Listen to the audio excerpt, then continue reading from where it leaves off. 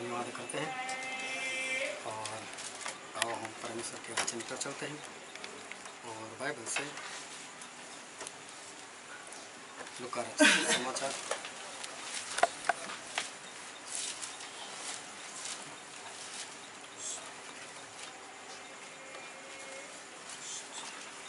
नए नियम में लुका रचित सुसमाचार और उसका बारहवा अध्याय।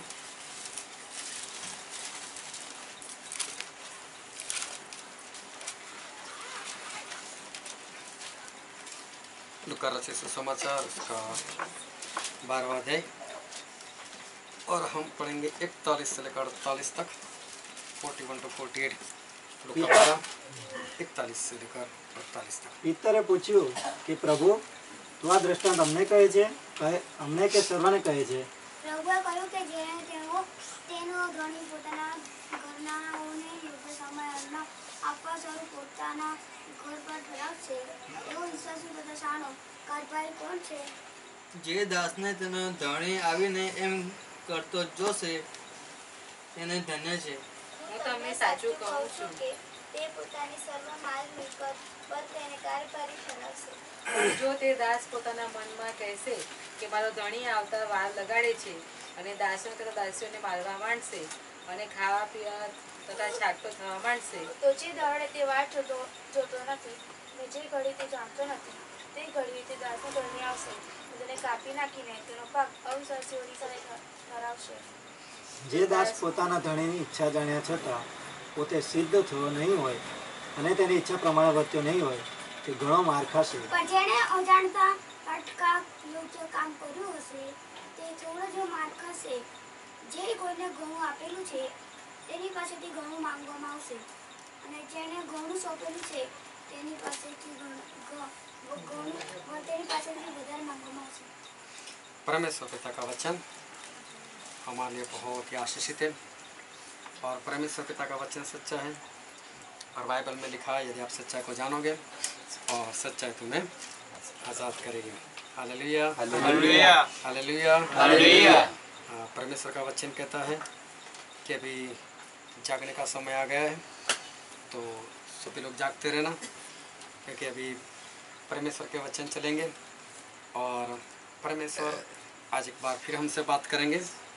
और परमेश्वर जो वचन पुकारेंगे वो किसके लिए है? हालेलुया। हालेलुया। हाँ जाग कर बोलो हालेलुया। हाँ। पहले में ऐसा बोलना तो मुझे याद रहे कि सब लोग जाग रहे हैं तो मेरा हौसला बना रहेगा। हालेलुया। परमेश्वर पिता का बहुत धन्यवाद करते हैं। क्योंकि हमारे परमेश्वर सच में बहुत अच्छे और भले परमेश्वर है हमारे परमेश्वर, वो राजाओं के राजा है, वो प्रभुओं के प्रभु है। और हमारे परमेश्वर की तुलना जो बाइबल में की है, वो उकाब के साथ की है। जब यह स्केल हम पढ़ते हैं और उसका सत्रह अध्याय तो वहाँ पर परमेश्वर को ऐसा दर्शाया गया है, उकाब की तरह। हमारे परमेश्वर जैसे उकाब है, ऐसा वहाँ पर परमेश्वर के बारे में लिखा हुआ है, परमेश्वर की तुलना उकाब के साथ की गई। उकाब को अगर आप देखो तो ज़मीन से बहुत ऊंचाई के ऊपर वो उड़ता रहता है। और कभी भी आप किसी भी पंछी को देखो, जब उड़ते हुए तो उसकी पंखे ऐसे ऐसे हिलती हैं। लेकिन जब उकाब को देखोगे आप तो उसकी पंखे स्थिर रहती हैं और ऐसे ही उड़ता है। ऐसा नहीं, वो हिलाता नहीं, लेकिन वो बिना हिलाए काफ़ी समय तक वो उड़ता रहता है उकाब और काफ़ी ऊंचाई पर होता है। उसका जितना कद होता है, उससे कई गुना छोटा हमें नीचे से दिखाई देता है वो आसमान में। इतनी ऊंचाई के ऊपर उकाब जो है, वो उड़ता रहता है। और मैंने सुना है कि उसकी जो आँखें होती है, वो इतनी पावरफुल होती है कि अगर ज़मीन के ऊपर चींटी भी चलती हो, वो उतनी ऊंचाई से देख सकता है उसको। ऐसी उकाब की आँखें होती है। और हमारे परमेश्वर की जो तुलना है वो उसी उकाब के आ, साथ की गई है। और इसीलिए भजन संहिता में भी लिखा है वहाँ परमेश्वर के लोगों के बारे में लिखा है कि वो हमारी जवानी जो है वो उकाब की नाई एक बार फिर ताजी कर देते हैं। फिर से हमें लौटाते हैं वैसा अभी परमेश्वर के वचन में लिखा हुआ है। बहुत ध्यान से परमेश्वर के वचन को सुनना। कि परमेश्वर की तुलना उकाब के साथ की और उकाब इतनी ऊंचाई पर बहुत स्थिरता से वो उड़ता रहता है और वहाँ से इस धरती के ऊपर अगर चींटी भी चलती हो तो भी उसकी निगाहें उसके ऊपर होती है। और उकाब जो होता है, वो जब भी कोई शिकार करता है तो वो अपने दोनों पंजों से शिकार करता है। जब भी उसको जो खुराक चाहिए, वो खुराक जो उकाब होता है, वो कभी कोई ज़मीन पर आकर बैठता नहीं है। लेकिन वो आकर अपना शिकार जो होता है, उसको लेकर चला जाता है। अगर समझो कि मुर्गी है, मुर्गी का बच्चा है, अगर उसको ले जाना चाहता है तो ऊपर से आता है, नीचे बैठता नहीं हो। ऊपर से उड़कर अपने पंजों में उसको फंसा कर वो लेकर चला जाता है। यहाँ तक कि उकाब जो होता है, उसकी निगाह अगर पानी के ऊपर है वो, पानी के ऊपर, बहुत ऊंचाई के ऊपर है, वहाँ से भी उसको छोटी मछली दिखाई देती है। और वो भी पानी के अंदर होती है, वो उसको दिखाई देती है। और जब वो मछली ऊपर आती है तो वो इतनी स्पीड से वो ऊपर से नीचे आता है और इतनी स्पीड में, क्योंकि मछली जो होती है, अगर आपकी पैर की भी आहट आएगी ना तो मछली चली जाएगी पानी के अंदर। लेकिन उकाब इतनी स्पीड से आता है और अपने पंजों में वही मछली को लेकर वो आसानी से चला जाता है। इतना पावरफुल उकाब होता है। वैसे भी वो तो परमेश्वर की रचना है, परमेश्वर ने उसको बनाया हुआ है। तो परमेश्वर हमारे कैसे होंगे? ये तो सिर्फ़ तुलना की है उकाब के साथ हमारे परमेश्वर की। लेकिन हमारे परमेश्वर वो तो तीसरे आसमान में रहते हैं हालेलुया बहुत ऊंचाई के ऊपर हम नीचे से उनको देख ही नहीं सकते इतनी ऊंचाई पर हमारे परमेश्वर रहते हैं तीसरे आसमान में हमारे परमेश्वर रहते हैं और बाइबल में ऐसा लिखा है हम पढ़ते हैं दूसरा इतिहास और उसका सोलवा अध्याय और उसका नौवा पद કેમ કે યહોવાની નજર આખી પૃથ્વીનું નિરીક્ષણ કર્યા કરે છે તેથી તે- જેઓનું અંતઃકરણ તેની તરફ સંપૂર્ણ છે તેઓની સહાય કરીને પોતે બળવાન છે એમ દેખાડી આપે આમાં તે મૂર્ખાઈ આમાં તે મૂર્ખાઈ કરી છે કેમ કે હવેથી તારે યુદ્ધો કરવા પડશે हालेलुया हालेलुया मैं आयत बोला सिर्फ दूसरा इतिहास सोलवा अध्याय इतना ही बोला ना નવું બોલ્યા ને? बोला क्या बात हालेलुया मैं बोला बिना बोले पता चल गया सोलवा अध्याय नौवा ही पद है परमेश्वर का बहुत धन्यवाद एक बार फिर से पढ़ो एक કેમ કે યહોવાની નજર આખી પૃથ્વીનું નિરીક્ષણ કર્યા કરે છે તેથી જેઓનું અંતઃકરણ તેની તરફ સંપૂર્ણ છે તેઓની સહાય કરીને પોતે બળવાન છે એમ દેખાડી આપે यहाँ पर बाइबल में ऐसा लिखा है कि परमेश्वर की निगाहें उस तीसरे आसमान से उस स्वर्ग से इस धरती के सभी मनुष्य के ऊपर है और सभी मनुष्य के ऊपर कहाँ पर तो बोले कि जिसका हृदय परमेश्वर की तरफ़ संपूर्ण है।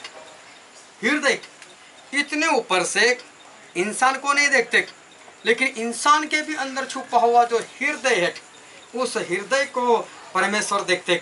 ऐसी हमारे परमेश्वर की निगाह, वो कब तो कुछ भी नहीं, लेकिन हमारे परमेश्वर की जो सही में निगाह है वो इतनी पेनी उनकी निगाह है कि ऊपर से नीचे तक इंसान के हृदय के अंदर क्या चल रहा है, वो हमारे परमेश्वर देख रहे वो ध्यान समझना, हमारे परमेश्वर इतनी ऊंचाई पर रहने के बावजूद भी हमारे परमेश्वर की निगाहें सभी इंसान के हृदय के ऊपर है।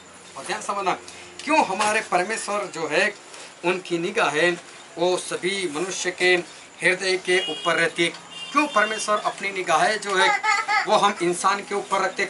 उसका कारण क्या है? परमेश्वर क्या चाहते? क्यों परमेश्वर हम सभी के ऊपर अपनी निगाहें बनाए रखते? इसका कारण ये है उसका कारण ये है कि एक बार प्रभु यीशु जो है वो इस धरती पर आकर गए। और प्रभु यीशु इस धरती पर आए और आकर यीशु मसीह वापस चले गए। और बाइबल में लिखने के अनुसार हमारे प्रभु यीशु एक बार फिर आने वाले। हालेलुया। हमारे प्रभु यीशु एक बार आकर गए और प्रभु यीशु एक बार फिर जो है वो आने वाले। एक बार आकर गए। अभी दूसरी बार उनको आने की ज़रूरत क्या है? एक बार अगर प्रभु यीशु आकर चले गए और फिर वो दूसरी बार आना चाहते, उसका कारण क्या है? दूसरी बार क्यों आना चाहते? उसका कारण क्या है? और दूसरी बार आने का कारण यही है कि प्रभु यीशु पहली बार जो आए और अभी दूसरी बार जो आने वाला है, उसका कारण यह है कि कुछ काम प्रभु यीशु का अधूरा रह चुका है। और ध्यान समझना। कुछ काम प्रभु यीशु का अधूरा रह चुका है। हमें भी गवर्नमेंट से कुछ सर्टिफिकेट निकालना था और मैं और बिनू गए थे वहाँ पर। सर्टिफिकेट निकालने के लिए जो भी डॉक्यूमेंट्स थे हमने दे दिए और उन लोगों ने सभी कुछ एक्सेप्ट कर लिए और अभी कल वापस बुलाए। जब हम कल जाएँगे तो सर्टिफिकेट हमको मिलने वाला है। मतलब कल एक बार फिर जाना पड़ेगा। पहली बार गए, दिखने से तो ऐसा लगता है हमारा पूरा काम खत्म हो गया। लेकिन सही में अभी कल एक बार फिर जाना पड़ेगा। क्यों? उसको लेने के लिए। अभी वो तैयार हो चुका होगा। कल सुबह हमको साढ़े दस बजे वो मिल जाएगा। हालेलुया। प्रभु यीशु भी एक बार आएगा और प्रभु यीशु भी अभी दूसरी बार आने वाले हैं। पहली बार आए उसका कारण कुछ अलग था और दूसरी बार आए क्योंकि जो पहली बार आकर चले गए उसमें उनका जो काम अधूरा रह चुका है उस काम को पूरा करने के लिए हमारे प्रभु यीशु वो बहुत जल्द जो है वो आ रहे पहले हमारे प्रभु यीशु हम सभी को बचाने के लिए आए थे हम सभी के लिए अपनी जान देने के लिए आए थे प्रभु यीशु हम सभी के लिए अपना लहू बहाने के लिए आए थे और बाइबल में भी ऐसा लिखा है हम पढ़ते हैं मत्ती रचित अ, सुसमाचार और उसका छब्बीसवा अध्याय और उसका अट्ठाईसवा पद કેમ કે નવા કારણનું એ મારું લોહી છે જે પાપોની માફીને અર્થે ઘણાઓને સારું ઉડાવવામાં આવે છે हालेलुया। तो ध्यान से परमेश्वर के वचन को सुनना। प्रभु यीशु पहली बार आए हमारे लहू बहाने के लिए हमारे लिए जान देने के लिए हमें पापों से बचाने के लिए। और जो वचन हमने पढ़ा मत्ती छब्बीस और अट्ठाईस और उसमें परमेश्वर का वचन यही कहता है कि प्रभु यीशु ने अपना पवित्र लहू वो बहुतों के लिए बहुतों के लिए बहाया हुआ है। प्रभु यीशु ने पापों की क्षमा के लिए ये अपना पवित्र लहू बहाया है। एक बार फिर से पढ़ो अट्ठाईस पद।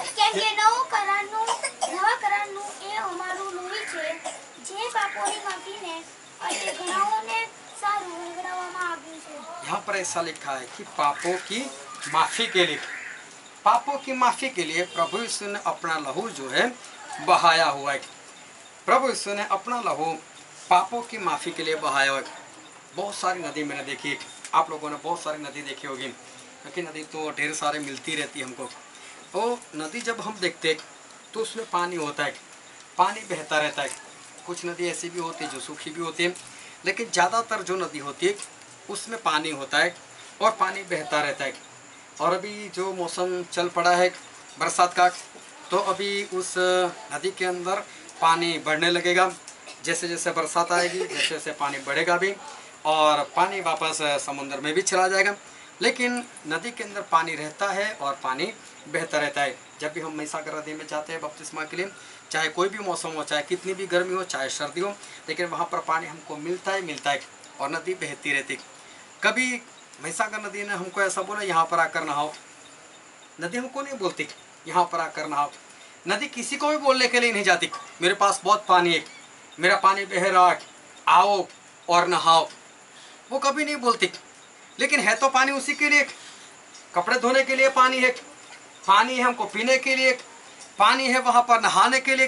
तो नदी का काम यही है कि हम अपने कपड़े साफ़ कर सके, हम वहाँ पर नहा सके, हम पानी पी सके। इसलिए नदी को रखा हुआ है। लेकिन कभी भी नदी पुकारती नहीं है। कभी भी नदी जोरों जोरों से आवाज़ नहीं लगाती। मेरे पास आओ, नहाओ, अपने कपड़े धो, पानी पियो, ऐसा चिल्लाती नहीं है। प्रभु यीशु का वचन भी यही कहता है कि प्रभु यीशु ने अपना लहू बहा दिया। हालेलुया। प्रभु यीशु ने अपना लहू बहा दिया। अभी बहाया किस लिए? तो बाइबल में क्या लिखा है? पापों की क्षमा के लिए। वो बहाने से पहले ही प्रभु यीशु ने बोल दिया कि मैं मेरा लहू पापों की क्षमा के लिए बहा रहा हूँ। परमेश्वर ने इस जगत से इतना प्यार किया कि अपना एकलौता बेटा दे दिया मतलब जान सभी के लिए दे दी। प्रभु यीशु ने अपना लहू जो है वो बहा दिया। पापियों के लिए बहा दिया, पापों की क्षमा के लिए बहा दिया। अभी लिखकर हमको दे दिया। अभी चिल्लाने की ज़रूरत नहीं है प्रभु यीशु को। अभी जोरों जोरों से आवाज़ लगाने की प्रभु यीशु को ज़रूरत नहीं कि मेरा जो पानी है, मेरा जो लहू है, उसके अंदर आप आओ, उसके अंदर नहा लो, उसके अंदर शुद्ध हो जाओ, मेरे लहू से पवित्र हो जाओ। ऐसे अभी प्रभु यीशु को आवाज़ लगाने की ज़रूरत नहीं क्योंकि जब पहली बार आए थे, उन्होंने ये आवाज़ लगा दी। पहली बार आए सारी बातें उन्होंने बता दी। पहली बार अपना लहू भी बहा दिया। और लहू बहाने से पहले उन्होंने बोल दिया कि मेरा लहू पापों की क्षमा के कारण मैं बहा देता हूँ। और प्रभु यीशु ने ये सारी बातें लहू बहाने से पहले ही उन्होंने कर दी। और यीशु मसीह ने जो लहू बहाया वो कुछ ऐसा नहीं था। जब एक बार आ, मैं एक बार खून देने के लिए गया था। और जब खून देने के लिए गया था तो उन्होंने एक सुई मेरे अंदर डाल दी। और जो पाइप थी वो एक बोतल के अंदर डाल दी और मेरे अंदर से जो खून था वो निकलने लगा और उस बोतल के अंदर जाने लगा और एक बोतल भर गई और उसके बाद उन्होंने मेरा खून लेना बंद कर दिया और वहाँ पर मुझे कुछ भी नहीं हुआ। मैंने सुना था चक्कर आते। लेकिन ऐसा कुछ भी नहीं हुआ। मेरे साथ वहाँ पर कुछ नहीं, मुझे ऐसा पता ही नहीं चला। हे शैतान, प्रभु से नामा चुप थे जा। चुप थे जा प्रभु से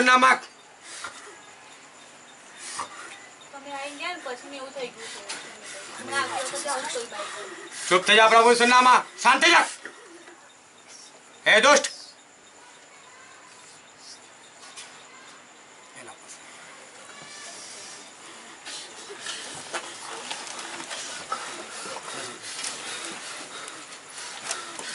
हम जो प्रभु सुनामा तेरे को बिल्कुल शांत बिल्कुल शांत प्रभु सुनामा चुप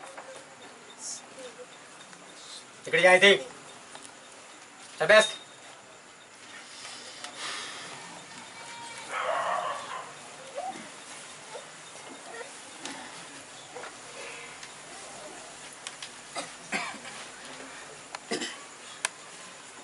प्रभु सुने अपना जो लहू है, वो लहू बहुतों की, पापों की क्षमा के कारण बहा दिया।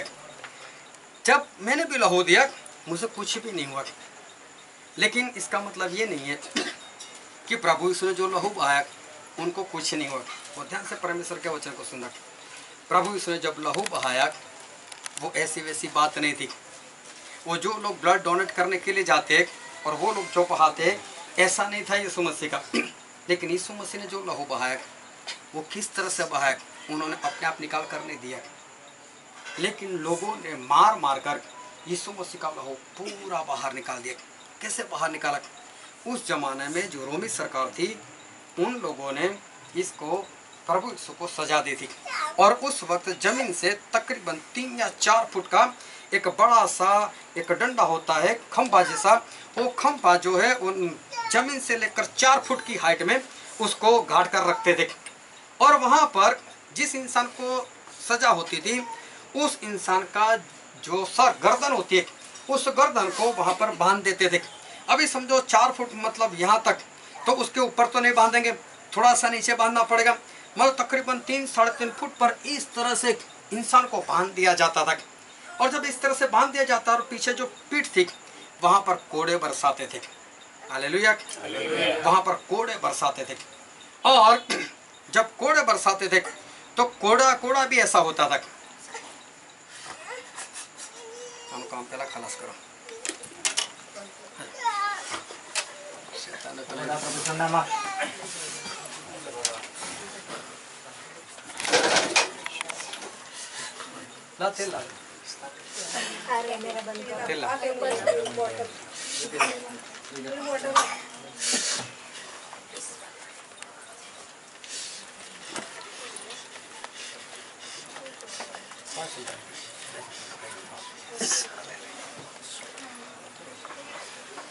परमेश्वर पिता प्रभु स्वात हमारा पवित्र लोय आदि कराने पर लगा आणि जे शैतान आणि हैरान करा ते शैतान ऊपर प्रभु तुम्हारा पवित्र नाम दिया आणि शैतान तेरा प्रभु से नाम शैतान तेरा प्रभु से नाम शैतान तेरा प्रभु से नाम आज्ञा करो चले जाएंगे અહીંથી ચાલો જા પ્રભુ ઈસુ નામ માં શૈતાન તારા પ્રભુ ઈસુ નામ આજ્ઞા કરું છું આ શરીરમાંથી ભાગ ભાગ સાંભળ name of Jesus. છોડ દે આ શરીર આ શરીર છોડ Come out in the name of Jesus. અત્યારે જ પ્રભુ ઈસુ નામ તને આજ્ઞા કરું છું સાંભળ્યું તે સાંભળો આ શરીરમાંથી ચાલો જાય આ શરીરમાંથી ચાલો જા પ્રભુ ઈસુ નામ તને આજ્ઞા કરું છું છોડ દે આ શરીર આ શરીર છોડ દે આ શરીર છોડ તને પ્રભુ ઈસુ નામ આજ્ઞા કરું છું Come out Prabhu, in Isu the In the શરીર છોડ. name of Jesus. આ શરીર છોડ Prabhu Sunnama. આ છોડ Come out. છોડ Come out in Dargah the name of Jesus. દરગાહનાત્મા તને પ્રભુ ઈસુ નામ કહું છું Come out. દરગાહનાત્મા સાંભળ દરગાહનાત્મા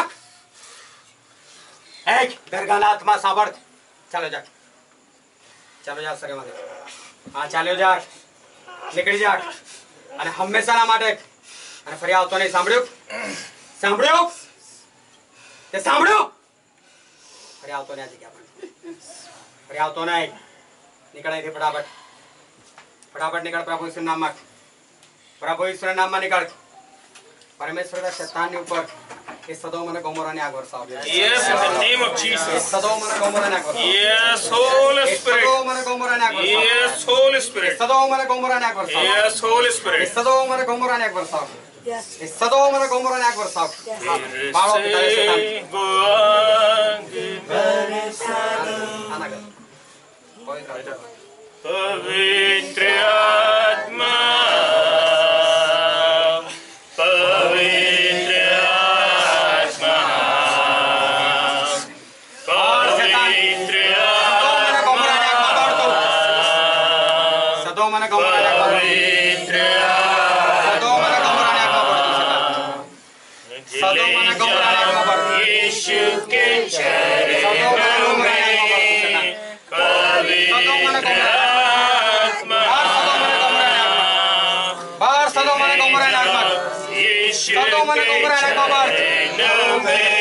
સદોમ અને ગોમોરાની આગમાં બળ. સદોમ અને ગોમોરાની આગમાં બળ. હા, સદોમ અને ગોમોરાની આગમાં બળ શેતાન. જ્યાં સુધી તો નહીં નીકળે હંમેશાના માટે તારે બળવાનું છે તારે બળવાનું છે તારે બળવાનું છે શેતાને તું યાદ રાખજે તારે બળવાનું છે.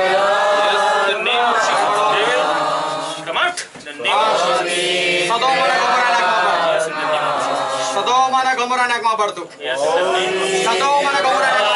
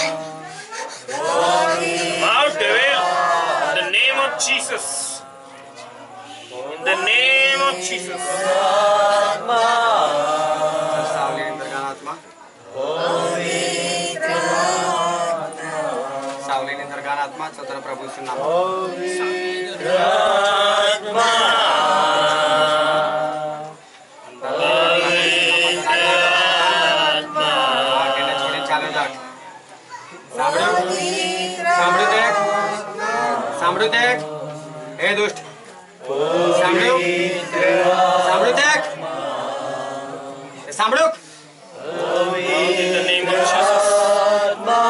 Out. પ્રભુ ઈશ્વરના નામમાં In the name of Jesus. Out in the name of Jesus. Yes, Holy Spirit.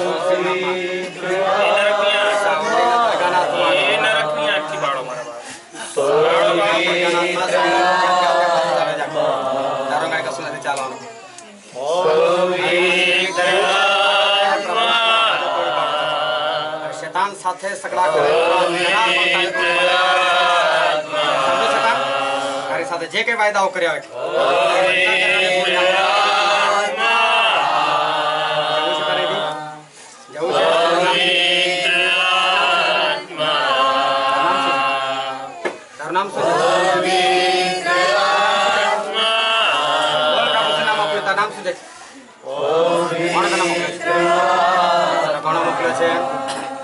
મોકલ્યો તને?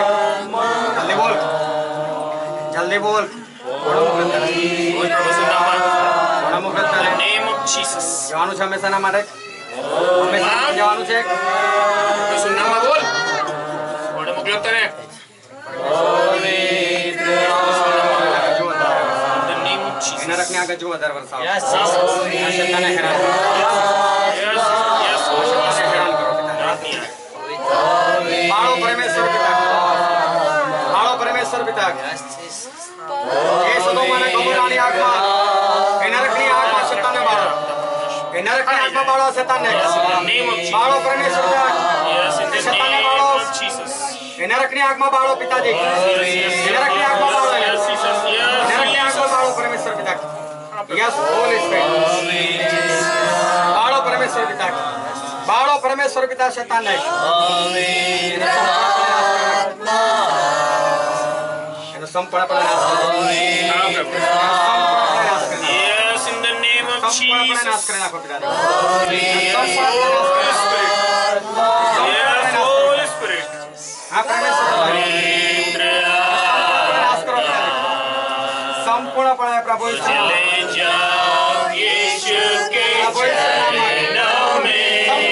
capitali. Parigi.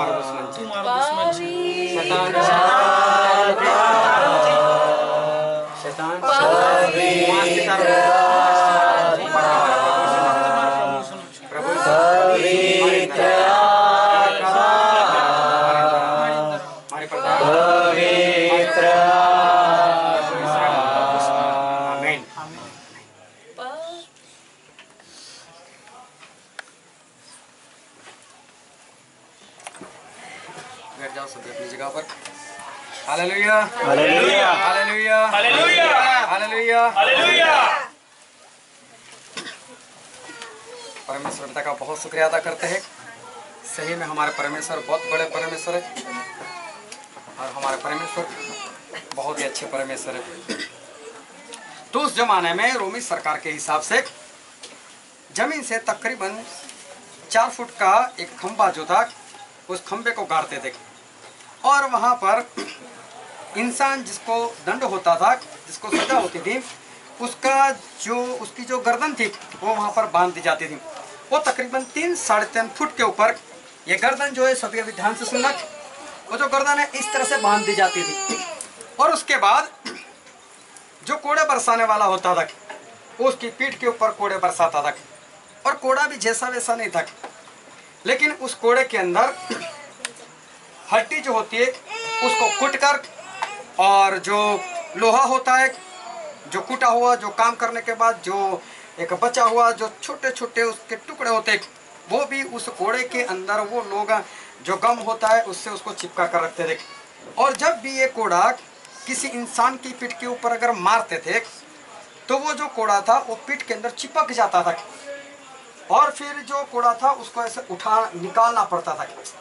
और जब कोड़ा निकालते थे तो क्या होता था, पूरा मांस बाहर आ जाता था। और लोग ऐसा समझते हैं कि यीशु मसीह को उनचालीस कोड़े बरसाए गए वो ध्यान से समझना, बाइबल में ऐसा कहीं पर ज़िक्र नहीं है। वो यहूदी लोग उनचालीस कोड़े बरसाते थे, लेकिन तो रोमी सरकार रोमी सरकार कितने कोड़े बरसाते थे? उनकी मर्ज़ी हो, तब तक वो कोड़े बरसाते थे। और ऐसे यीशु मसीह के ऊपर अनगिनत कोड़े बरसाए गए। और जब रोमी लोग कोड़े बरसाते थे तो सिर्फ़ पीठ के ऊपर नहीं, वो आगे भी छाती के ऊपर, पेट के ऊपर भी कोड़े बरसा देते थे। तो प्रभु यीशु को आगे और पीछे दोनों जगह पर उनको कोड़े बरसाए फिर कांटों का ताज पहनाए जब कोई कांटों वाले पेड़ के पास जाए, या तो जो बेर आते कभी बेर तोड़ने के लिए जाए तो भी आप जाओगे उसके पास तो आपको एक दो कांटे तो लग ही जाएँगे। और वो तो काफ़ी छोटे होते अभी यीशु मसीह के सर के ऊपर कांटों का ताज पहना ताज ऐसा होता है जो पूरा सर पूरा सर जो है, उसको कवर कर देता है। और कांटे जो होते वो कांटों का ताज कोई भी जोरों से उसको नहीं पकड़ सकता। क्योंकि अगर जोरों से पकड़ेगा तो उसके हाथों में कांटे लग जाएँगे। उसके बाद जब ताज किसी को पहनाएँगे, वो भी कांटों का तो कांटों का ताज कोई भी इंसान अपने हाथों से, जोरों से ऐसे नहीं पहना सकता, क्योंकि उसके खुद के हाथों में कांटे लग जाएँगे। इसलिए कांटों का जो ताज था यीशु मसीह पर सिर्फ़ ऐसे उन लोगों ने धीरे से रख दिया। लेकिन यीशु को तो मारना चाहते थे, वो तो खुद को ना लगे, इसलिए धीरे से रखा। तो उसके बाद दबाया कैसे होगा? तो मुझे लगता है छोटी सी लकड़ी लेकर उसको मार मार कर कांटों का ताज जो है वो प्रभु यीशु के सर के अंदर डाला होगा। प्रभु यीशु की खोपड़ी को पार करके दिमाग के अंदर ये जो कांटे थे, वो कांटे चुप गए होंगे। आगे से लेकर पीछे तक सर में से लहू की धारा जो है बहने लगी। जो कोड़ा बरसाए उसके अंदर से भी लहू की धाराएँ बहने लगी। ये जैसे कम था वैसे उनको उस क्रूस के ऊपर दोनों हाथों में और पैरों में खिल्ले मार दिए और अभी उसमें से भी लहू बाहर निकलने लगा। हालेलुया। प्रभु यीशु को इस तरह से मार मार कर प्रभु यीशु का खून जो है वो बह निकला। ये इस तरह से प्रभु यीशु का खून बहा वो इसलिए कि हम सभी को पापों की क्षमा मिले। हालेलुया। इसी तरह से प्रभु यीशु ने हमारे लिए खून बहा दिया। ये कोई आसानी से नहीं था कि किसी ने वो सिरिंज को डाला और दूसरी ओर से पाइप से सारा खून निकल आया और इंसान शांति से मर गया। ये ऐसा नहीं था। प्रभु यीशु की जो मौत थी, वो प्रभु यीशु की मौत बहुत दर्दनाक हुई। और प्रभु यीशु ये नहीं चाहते मेरे लहू से किसी को शुद्ध होना है तो हो, ना होना है तो ना हो, मुझसे क्या? ऐसा प्रभु यीशु को नहीं है। नदी चाहे ना पुकारती हो मेरे पास आओ नहाओ अपने कपड़े धो या पानी पियो। लेकिन प्रभु यीशु ने तो इस तरह से अपना लहू बहाया। क्यों बहाया प्रभु यीशु ने? क्योंकि प्रभु यीशु की मर्ज़ी है कि हम सभी लोग उसमें शुद्ध होना चाहिए। हम सभी लोग पवित्र हो जाए उनके लहू से। हम सभी लोग स्वर्ग में चले जाएँ। इसलिए प्रभु यीशु ने काम किया हुआ है। हालेलुया। और इसलिए आसमान से हमारे परमेश्वर वो देख रहे हैं। ऊपर से नीचे देख रहे हैं। सभी के हृदय को देख रहे हैं कि कौन मेरे लहू से शुद्ध हुआ है और कौन मेरे लहू से शुद्ध नहीं हुआ। ये प्रभु यीशु आसमान से हम सभी को आज देख रहे। कौन मेरे लहू से शुद्ध होता है और कौन मेरे लहू से शुद्ध नहीं हो रहा है? कौन मेरे लहू की इज़्ज़त करता है और कौन मेरे लहू की इज़्ज़त नहीं करता? आज प्रभु यीशु उस स्वर्ग से, इस धरती ऊपर ये सारी बातें जो है वो देख रहे हैं। लेकिन प्रभु यीशु जिंदा होने के बाद वो वापस स्वर्ग में चले गए और एक दिन यीशु मसीह एक बार फिर आने वाले हैं और बाइबल में ऐसा लिखा है मत्ती रचित सुसमाचार और उसका पच्चीसवा अध्याय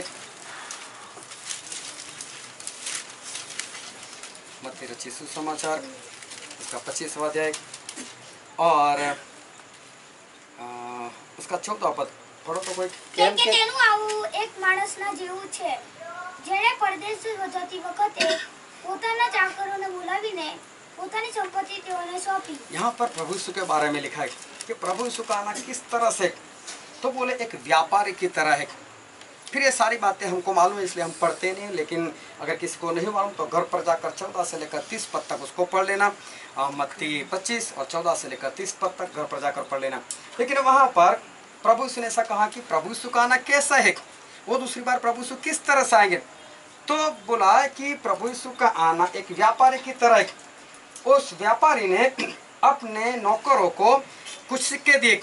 एक को पाँच सिक्का दिया, एक को दो सिक्के दिए और एक को एक ही सिक्का दिया। और फिर वो जो व्यापारी था, वो परदेश चला गया। और ये तो यीशु मसीह के वापस आने की बात करे। मतलब जो इंसान, जो व्यापारी है, कोई और नहीं है, वो प्रभु यीशु है। उसकी तुलना प्रभु यीशु की तुलना एक व्यापारी के साथ की। समझो वो व्यापारी प्रभु यीशु खुद है। और वो इंसान जिसको पाँच सिक्के दिए गए, जिसको दो दिए गए, जिसको एक दिया गया, वो हम ही में से सभी लोग हैं। किसी को परमेश्वर ने बहुत सारे वरदान दिए, किसी के पास एक है, किसी के पास दो है, किसी पास सारे के सारे फल, सारे के सारे वरदान है। वो प्रभु यीशु ने दिए हुए, और प्रभु यीशु देकर कहाँ चले गए? स्वर्ग में चले गए। बोल कर नहीं गए व्यापारी बोल कर नहीं गया मैं कब आने वाला हूँ? प्रभु यीशु भी बोल कर नहीं गए कि मैं कब आने वाला हूँ? हाँ इतना अच्छा है कि हमारे परमेश्वर ने कुछ निशान दे दिए कि मेरे आने वाले दिन कैसा कैसा होगा। उस वक्त कैसे कैसे धरती पर घटनाएँ घटेगी, वो प्रभु यीशु ने बोल कर चले गए यहाँ से। तो वो तो निशान तो हमारे पास है। लेकिन प्रभु यीशु हमको कोई तारीख बता कर नहीं गए कि मैं कब आने वाला हूँ। लेकिन ये जो व्यापारी, वो कुछ बताए बिना चले गए कि मैंने पाँच सिक्के दिए तो करना क्या है? मैं दो सिक्के दिए तो करना क्या है? या तो मैंने एक सिक्का दिया, उसका करना क्या है? वो ध्यान समझ रख। लेकिन जिसको दिया उसको तो मालूम होना चाहिए ना कि व्यापारी है, उसके बाद नौकरी करते थे क्यों दिया? अगर परमेश्वर ने चंगाई का हमें वरदान दिया तो क्या करे? बस लोगों को बताते रहे कि परमेश्वर ने मुझे चंगाई का वरदान दिया, प्रभु यीशु ने मुझे चंगाई का वरदान दिया। ऐसा नहीं है उसका इस्तेमाल करना है।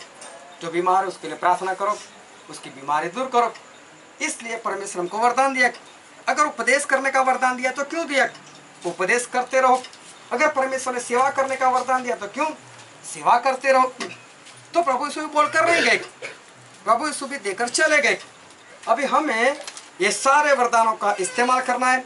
ये पाँच सिक्के वाला, दो सिक्के वाला, एक सिक्के वाला जो है, वो हम ही सभी लोग हैं और वो व्यापारी कोई और नहीं।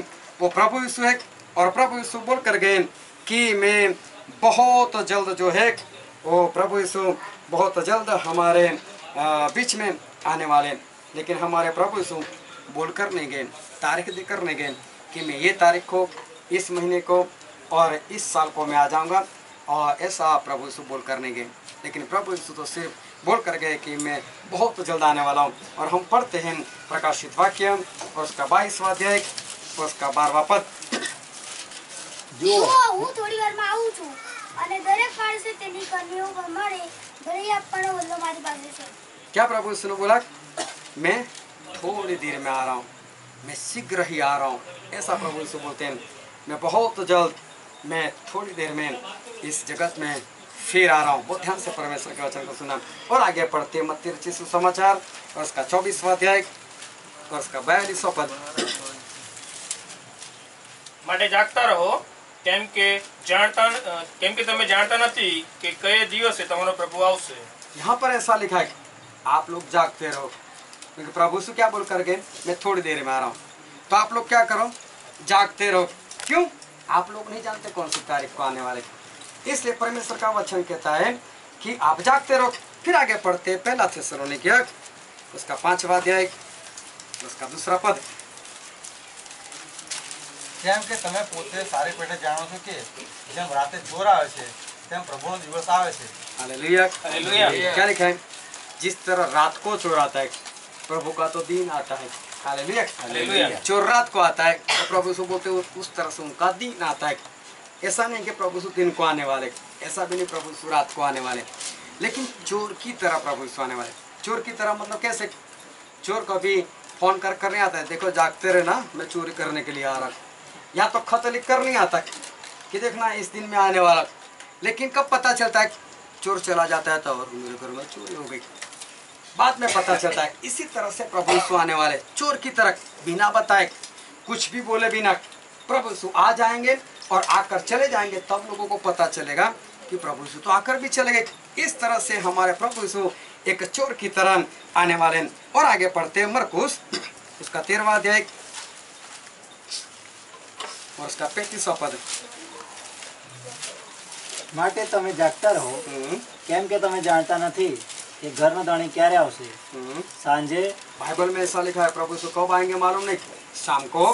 के मधराते वहाँ की आधी रात को आएँगे। के मरगो बोलते वक्त है? कि सुबह मुर्गा जब बांग पुकारता है तब? के सवार है?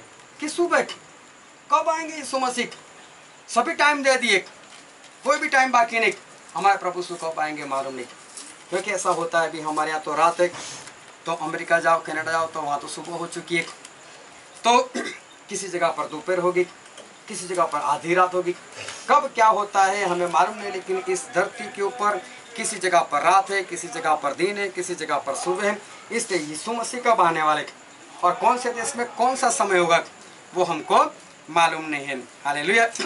और इस तरह से हमारे प्रभु यीशु वो कोई भी समय पर आने वाले और फिर बाइबल में लिखा है हम पढ़ते हैं मत्ती और उसका चौबीसवा अध्याय और उसका तीसवा पद। અને ત્યારે માણસના દીકરાની નિશાની આકાશમાં દેખાશે અને ત્યારે પૃથ્વી પરના સગળા પુરુષ શોક કરશે અને માણસના દીકરાને પરાક્રમ તથા મોટા મહેમા સહિત તેઓ આકાશના મેઘ પર આવતો દેખશે हालेलुया हालेलुया। यहाँ पर ऐसा लिखा है कि प्रभु यीशु जब आएंगे तब बादलों पर आएंगे अभी बोलो कितना टेंशन हो जाएगा चार महीने तक तो ये बरसात का मौसम रहता है बादल तो रहते ही रहते अभी जब भी बादल तब सबसे पहले टेंशन कहीं प्रभु यीशु तो नहीं है बादल में कहीं प्रभु यीशु तो नहीं आ गए, क्योंकि आने वाले बादल में इतना पक्का है। कभी कभी तो गर्मी के दिनों में भी बादल आ जाते कभी तो सर्दी के मौसम में भी बादल आ जाते अभी इंसान रहेगा कितना टेंशन में बोल कर नहीं गए, तारीख बता कर नहीं गए प्रभु से ये भी नहीं बोल कर गए आधी रात को। अगर आधी रात को बोला होता तो हर रोज हर रोज हम आधी रात को जाग जाते। और परमेश्वर की क्षमा मांगकर हम टेरेस के ऊपर चले जाते। अब कभी भी आए, कोई बात नहीं, यहाँ से डायरेक्ट चले जाते। कोई टाइम ही नहीं दिया। ना तो सुबह ना तो आधी रात ना तो शाम कोई भी प्रभु यीशु ने हमको समय नहीं दिया, ना कोई तारीख दिए और इतना लिखा है कि जब भी आएँगे तो बादलों पर आएँगे।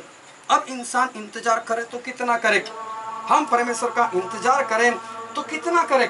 और किस तरह से प्रभु यीशु का इंतज़ार करें? 2000 साल के करीब हो गया प्रभु यीशु बोल कर चले गए। मैं जल्दी आ रहा हूँ, मैं जल्दी आ रहा हूँ। लेकिन 2000 साल होने को आ गए, लेकिन अभी तो प्रभु यीशु आया नहीं। अभी 2000 साल से इंतज़ार करते करते कितनी पीढ़ी खत्म हो गई। अब हम लोग हैं आ गए हम भी छोटे थे, तब से सुनते सुनते आए। शादी भी हो गई, दूसरी पीढ़ी भी आ गई। अभी वो लोग भी इंतज़ार कर रहे, हम लोग भी इंतज़ार कर। रहे क्या होगा? कब प्रभु यीशु आएँगे? किस तरह से आएँगे? कोई तारीख नहीं, कुछ भी नहीं। हम रहे तो कैसे रहे? हम इंतज़ार करें तो कितना करें? कब तक इंतज़ार करें? और कैसे इंतज़ार करें? कौन इतना लंबा तक इंतज़ार कर पाएगा? लेकिन परमेश्वर का एक दास पौलुस पौलुस ने पवित्र आत्मा से हमको एक बहुत बढ़िया बात बता दी और पौलुस ने जो बताया हमको और पौलुस जो हमको सिखाना चाहते हैं पौलुस तो ये सिखाना चाहते हैं कि प्रभु यीशु का इंतजार ही मत करो और हम बाइबल में पढ़ते हैं आ, दूसरा कुरंथी और उसका छठवा अध्याय और उसका दूसरा पद જે માન્ય કાળે સા- સાંભળ્યું અને તારાના દિવસે મેં તમને સહાય કરી यहाँ पर ऐसा लिखा है आज ही अभी ही उद्धार का दिन है। उद्धार का दिन मतलब प्रभु यीशु के वापस आने का दिन। उस वक्त हमारा फाइनली उद्धार। परमेश्वर के पास चले गए। अब कोई दुख नहीं अब कोई गम नहीं अब कुछ भी नहीं हमारे जीवन में। अब हमारा हमेशा का उद्धार हो गया। हालेलुया। तो प्रभु यीशु का वचन पौलुस इस तरह से हमको बोलते हैं कि आज ही बल्कि अभी ही उद्धार का दिन है। हालेलुया। अभी उद्धार का दिन है। कभी भी सोचो अभी उद्धार का दिन है। आधी रात अभी उद्धार है। सुबह अभी उद्धार है। दोपहर अभी उद्धार है। मतलब उद्धार कब है? अभी। मतलब इंतज़ार मत करो। हालेलुया। अभी उद्धार है। बस आ रही यीशु मसीह ऐसा पौलुस हमको सिखाने चाहते और एक बार एक भाई साहब थे। और परमेश्वर ने उनको मसीह में लाने के लिए मेरा इस्तेमाल किया था और भाई साहब बहुत जल्द परमेश्वर में बढ़ने लगे और मैंने उनको बाइबल भी दिया, बाइबल भी पढ़ने लगे। बाइबल भी उन्होंने बहुत जल्द पूरा कर दिया। फिर एक बार मेरे पास आए, उस दिन उनको छुट्टी थी और हम लोग बातचीत कर रहे थे और मैंने चलते चलते उनको बपतिस्मा के बारे में बता दिया कि अभी आपको बपतिस्मा लेना चाहिए। और उन्होंने जब बपतिस्मा की शिक्षा ली, वो बहुत खुश हो गए। बोले मेरा मैं बोला हाँ आपको भी दे देंगे आपको भी दे देंगे। बोले नहीं आज ही करो अभी करो। और उसने जीत ले ली। मुझे तो आज ही चाहिए अभी चाहिए और उसके बाद अगर प्रभु यीशु आ गए तो मेरा क्या होगा? मुझे तो आज ही चाहिए। उसको एक तलब थी एक जोश था और पौलुस यही कहते हैं अभी मसीह आ गए तो तो ऐसा समझो अभी ही मसीह का दिन है। हालेलुया।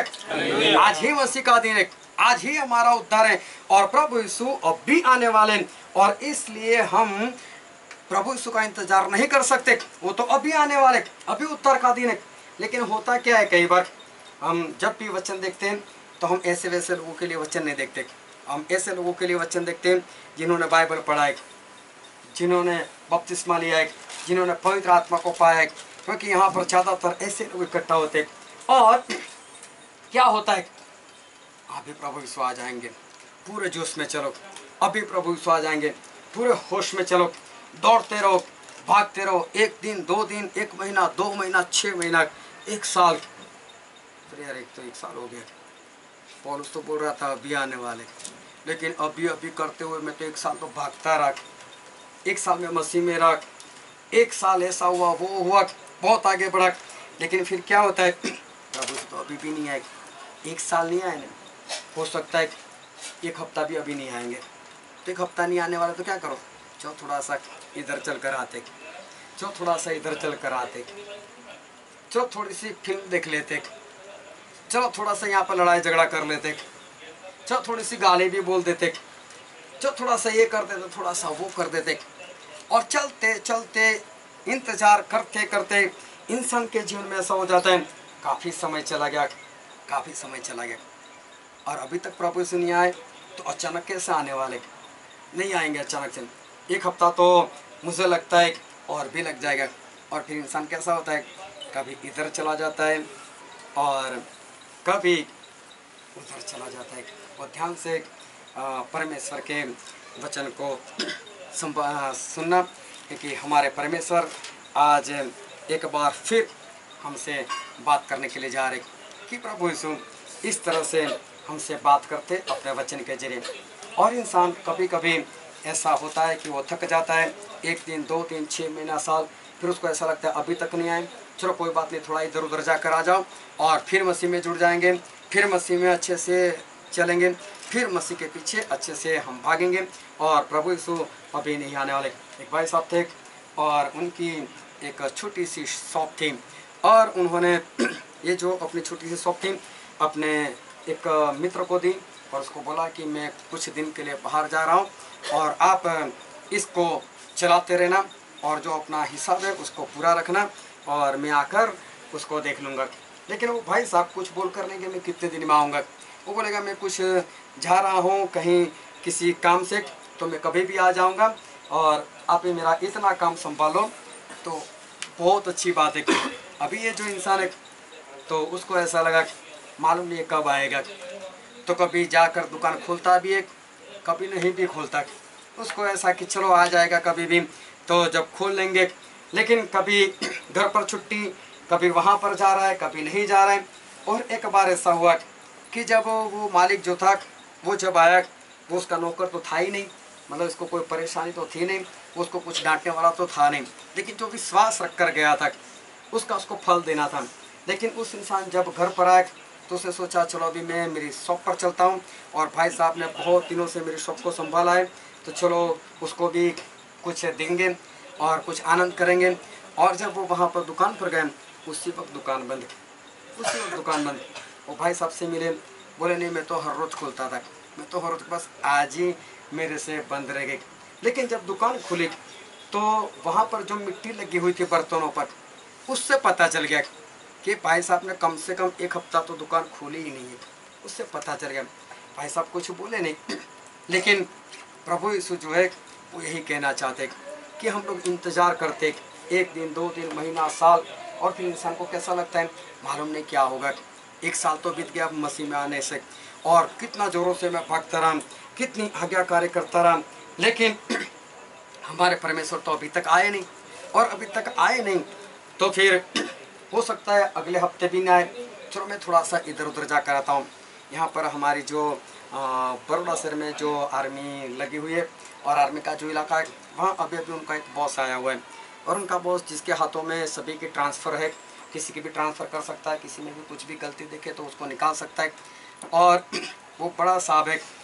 लेकिन उसका नाम मैंने जब सुना तो उसका नाम सुना मैंने चड्डा तो मैं समझा चड्डा होती है, लोगों की सरनेम होती है। तो मैं, मैंने पूछा कि चड्डा सरनेम बोलते हैं, नहीं, वो क्या करता है? सभी के बीच में चड्डा पहन कर आ जाता है। और जब ऐसा है तो लोगों को ऐसा कि मालूम नहीं कौन है। सभी लोग अपनी मस्ती में होते लेकिन वो सभी के ऊपर निगाह रखता है, कौन सही से चलता है? और जब उसको उसको उसकी निगाह में कोई आ जाता है कि ये है, ये सही से जाए उसको बुलाता है, अपने ऑफ़िस में लेकर जाता है। और तब तो उसको पता है तो हमारा बॉस था, ये चड्ढा पर आ गया तो पता ही नहीं चला। और डायरेक्ट उसके ट्रांसफ़र चलो निकाल दो उसको यहाँ से।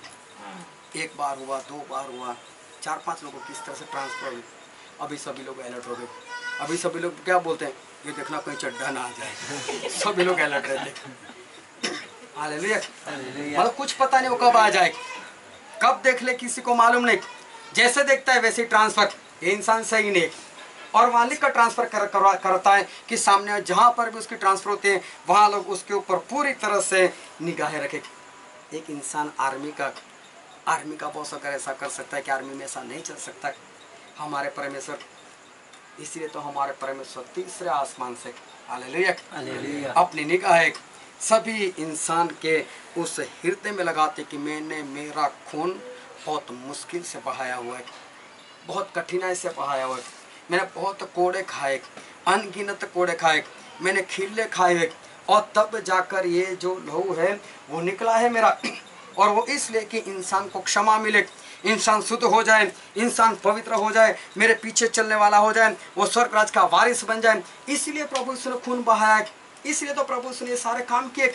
इसलिए प्रभु यीशु आसमान से देख रहे हैं कि मेरे जाने से पहले मैं इन सभी लोगों को, मैं देखता रहा हूँ, सभी लोगों को देखता रहा हूँ कि सभी लोग किस तरह से चलते हैं और किस तरह से आगे बढ़ते हैं और कौन कहाँ है और कैसे बैठ रहा है। और ध्यान समझना।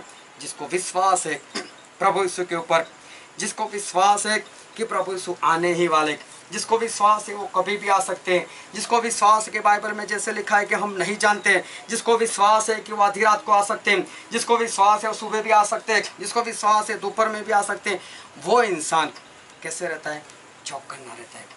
जिसको पूरी तरह से प्रभु के ऊपर विश्वास है कि मेरा प्रभु जो है वो कभी भी आ सकता है, वो चाहे दस साल हो जाए उसको चलते चलते चाहे उसको बीस साल हो जाए, चाहे उसको कितने भी साल हो जाए, वो कभी भी वो थकता नहीं। वो कभी भी थकता नहीं। क्यों नहीं थकता? उसको मालूम है। जिस दिन मेरा परमेश्वर आ गए और ध्यान आज तक हम लोग बहुत अच्छी तरह से चल कर आए। समझ लो कि अभी इसी वक्त हमें कुछ गलती आ गई। हाँ हमारे अंदर कुछ लड़ाई झगड़ा हो गया या हमारे अंदर कुछ नफरत सी आ गई। अभी ऐसा वक्त, और अभी प्रभु यीशु आ गए तो अभी तक हम अच्छी तरह से चले, उसका कोई फ़ायदा वो तो अभी देखेंगे एक सेकंड के लिए भी हम लोग कहाँ जा सकते हैं? नाश में जा सकते हैं। एक सेकंड के लिए हम लोग नर्क में जा सकते हैं। इसलिए जो सही इंसान है, जो सही विश्वास करता है, वो 24 घंटे, वो 24 घंटे, क्योंकि उसको डर लगा रहता है। कहीं अभी आ गए तो कहीं मैं पकड़ा गया तो मैं हमेशा हमेशा के लिए मैं नाश में चला जाऊँगा, नर्क में चला जाऊँगा चला जाऊँगा और वहाँ से मैं बाहर ही नहीं निकल पाऊँगा। इससे अच्छा है अभी मुझे होश में रहने दो, अभी मुझे जोश में रहने दो और अभी परमेश्वर के पीछे पूरी ईमानदारी से चले दो। जब बाइबल में एक बार लिखा था कि परमेश्वर का राज कैसे है तो वहाँ पर दस कंवारी का दृष्टांत प्रभु ने दिया है। जब मैं पहले पढ़ता था दस कंवारी का दृष्टांत, मुझे पता नहीं चलता परमेश्वर कहना क्या चाहते मैंने बोला, एक ही दूल्हा और दस दस कुंवारी लड़की उसके साथ शादी करने के लिए बाहर निकलती है क्या? बोले, ऐसा कैसा परमेश्वर ने दृष्टांत दिया एक के पीछे दस लोग। चलो, होगा कुछ भी। लेकिन परमेश्वर ने सिखाया उस वक्त इसराइल के अंदर ऐसा था कि जो लड़की होती थी, जब उसकी शादी तय होती थी तो सबसे पहले मंगनी होती थी। मंगनी और शादी के बीच में ज़्यादा से ज़्यादा एक साल का समय रहता था। एक साल के अंदर कभी भी दूल्हे को शादी करने के लिए आना होता था और अपनी दुल्हन को वापस उसको लेकर जाना होता था। लेकिन उस वक्त शादी नहीं होती थी। शादी नहीं होती थी मेरे कहने का मतलब जिस तरह से आम लोग करते, बड़ा सा टेंट लगाते, पार्टी प्लॉट लेते, डीजे बुलवाते, और फिर नाच गाना होता है और फिर हार वगैरह लेकर आते, फूल वगैरह लेकर आते, बड़ा सा खाना रहता है और वहाँ पर लोग इकट्ठा होते हैं। और फिर, एक, जो इनविटेशन कार्ड होता है, सभी लोगों को बांट दिया जाता है। उसमें पूरी तरह से तारीख लिखी हुई थी इस तारीख को शादी है। इतने बजे शादी का खाना है। ऐसे सभी को सब कुछ मालूम होता था और उसी वक्त सब लोग इकट्ठा होते थे। उसी वक्त बारात आती थी। लेकिन इसराइल में उस वक्त ऐसा नहीं था। इसराइल में ऐसा था कि मंगनी और शादी के बीच में ज़्यादा से ज़्यादा एक साल, उससे ज़्यादा समय नहीं होता था। एक साल के अंदर दूल्हे को कभी ना कभी अपनी दुल्हन को लेने के लिए आना होता था। लेकिन दूल्हा कभी भी बोलकर नहीं आता था कि आज मैं शादी करने के लिए आ रहा हूँ। दूल्हा बिना बताए आता था, बारात तो लेकर ही आता था। लेकिन बिना बताए बिना बताए, और वो कभी भी आ सकता था। आधी रात को सुबह मुर्गा बांग पुकारे तब, दोपहर में शाम के वक्त वो कभी भी आ सकता था। उसके लिए कोई समय नहीं था। लेकिन वो जब भी आए तब उसकी जो दुल्हन है, उस दुल्हन को उस वक्त दुल्हे के लिए तैयार रहना पड़ता था। और जब भी वो दूल्हा आए तो दूल्हे के आगे उसका जो मित्र था, वो पुकारता था दूल्हा आया दूल्हा आया तो जिस जिसकी शादी तय हो चुकी होती थी, वो सभी लोग बाहर निकल निकलने लगते थे। और देखते, कहीं मेरा दूल्हा तो नहीं आया और जो भी आया, जिसका दूल्हा आया, वो उसके साथ चली जाती थी। कोई खाना नहीं, पूरी बारात उस लड़की को लेकर चली जाती थी और अपने घर में वहाँ पर पार्टी करते थे वो लोग। हाल बहुत ध्यान समझ है ये बहुत अच्छी बात है। अभी एक शादी हुई। शादी हुई और शादी मसीही घराने में। बहुत ध्यान समझना कि मसीह लोग भी सच में बड़े अच्छे मसीह लोग होते हैं। हालेलुया। तो बारह बजे की शादी तय की। और जो दुल्हन थी वो बारात तो समय से आए, आ गई और उन्होंने दुल्हन के जो कपड़े थे दुल्हन को दे दिए और दुल्हन अपने कमरे में चली गई तैयार होने के लिए। और 12 बजे से उसने तैयार होना शुरू किया। बारह बजकर दस मिनट, पंद्रह मिनट, बीस मिनट, एक बज गया। सब लोग देखते एक घंटा हो गया। बोलते हो दुल्हन को बाहर निकालो। पास्टर साहब वो दुल्हन को बाहर निकालो, दुल्हन को बाहर निकालो। अभी तो अभी तैयार हो रही है, तैयार हो रही तैयार हो रही मालूम है कितने बजे तैयार हुई? चार बजे तैयार हुई। बारह से लेकर चार घंटे इस दुल्हन को सिर्फ़ तैयार होने में हुआ पास्टर इतना गुस्सा हो गया, पास्टर ने लेक्चर में बोल दिया, बोले, तुम्हारे से हिंदू अच्छे ब्राह्मण एक बार बोल देता ना कि ये समय निकाला हुआ है, वो समय को चुकते नहीं, उसी समय पर शादी कर देते। और आप मसीह को मानने वाले, जो योग्य समय पर काम करते और ऐसे चार घंटे सिर्फ़ शादी के लिए तैयार होने, अगर इसराइल में होती तो क्या होता? उसका दूल्हा तो चला जाता। हालेलुया वो ध्यान समझा अभी जिस लड़की की शादी है, शादी होने वाली एक साल में कभी भी, अभी सभी लोगों उस दुल्हन बन जाना, अपने आप को उस दुल्हन के रूप में देखना और सही में उस दुल्हन की परिस्थिति कैसी होती होगी। मंगनी हो गई। अब उनका एक साल में 360 दिन रहते। अभी ज़्यादा से ज़्यादा 360 दिन हो। सकता है उसका दुल्हा दूसरे दिन भी आ जाए और हो सकता है 360 वाले दिन में भी आए, कभी भी आ सकता है। अभी शादी का जो कपड़ा होता है, कैसा होता है? भारी होता है शादी के कपड़े। लड़की जो हो, ऐसे भारे कपड़े में, वो कुछ काम नहीं कर सकती। अब एक घर में, एक घर में तो शादी नहीं थी, लेकिन वहाँ पड़ोस में शादी थी। और गलती से मैं भी वहाँ उसी घर में था। जहाँ शादी थी, वहाँ नहीं। तो उसके करीब में एक घर था वहाँ पर। और वो लोग सुबह तैयार हो रहे थे। तो पत्नी और दो लड़की जो तैयार हो रही थी। और पति मेरे साथ बैठा हुआ था। पति बार बार टाइम देख रहा है पति बार बार टाइम टाइम देखा आधा घंटा और घंटा मेरे को तैयार ही हो रहे तैयार ही हो रहे और फिर जो पति था वो बहुत गर्म हो गया और जोरों से चिल्लाए ए अपने घर में शादी है क्या? एक घंटा लगा दे अभी तक तैयार है। अरे शादी में जाना एक दिन शादी होती है हम लोगों को भी तो तैयार होने तक अभी जिसकी शादी नहीं वो भी घंटा लगा रहे तो जिसकी शादी उसको तैयार होने में कितना समय लगेगा? हालेलुया। उसको भी मालूम है कि एक ही बार शादी करनी है। बात की बात में देखी जाएगी। हालेलुया। लेकिन अभी तो सोचा है एक ही बात तो भी अच्छे से तैयार होती है। मेकअप भी करना पड़ता है, आम दिन चाहे ना करे, लेकिन उस वक्त तो सभी कुछ मैचिंग चेक मालूम उसके पर्स में पैसे होते कि नहीं, लेकिन पर्स तो चाहिए। है? सब कुछ होता है और अच्छी तरह से तैयार होना होता है। अभी समझो कि हम उस दुल्हन है और सोचो उस दुल्हन की परिस्थिति कैसे होगी। मंगनी हो गई, दूल्हा कपड़ा देकर चला गया। अभी दुल्हन को तैयार रहना है। अभी समझो कि आधी रात को वो आ जाए तो। अगर वो तैयार होने के लिए बैठेगी उसको कितना टाइम लगेगा?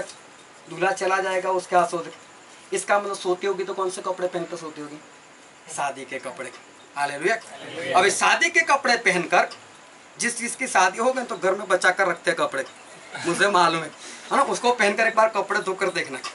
हालेलुया अभी वो कपड़े पहनकर क्या औरत कपड़े धो सकती है? लेकिन उसको घर का काम तो करना पड़ेगा ना। अभी वो उसी कपड़े पहनकर वो अगर कपड़े धोएगी तो उसकी कितनी परेशानी होगी? वही कपड़े पहनकर उसको बर्तन मांजने की कितनी परेशानी होगी? वही कपड़े पहनकर उसको सोना भी है, वही कपड़े पहनकर उठना भी है। अभी समझो नहाने के लिए तो जाना पड़ेगा। हालेलुया। कई बार तो बाहर से चिल्लाना पड़ता है। ये हर हफ़्ते नहाती है क्या? जल्दी से निकलो। बाहर निकलो। अभी वो औरत अगर आधा घंटा लगा दो और तभी दूल्हा आ गया तो कैसे नहाती होगी वो? कितनी स्पीड में नहाती होगी? हालेलुया जैसे गई नहीं वैसे ही बाहर निकलो। क्यों? और वहाँ की दुल्हन इस तरह से हर 24 घंटे तैयार रहती थी अपने दूल्हे के लिए। हालेलुया और इसलिए बाइबल में कभी नहीं लिखा हाँ जो पाँच मूर्ख औरत थी वो रह गई थी। क्योंकि उनकी जो मसाल थी वो बुझ गई।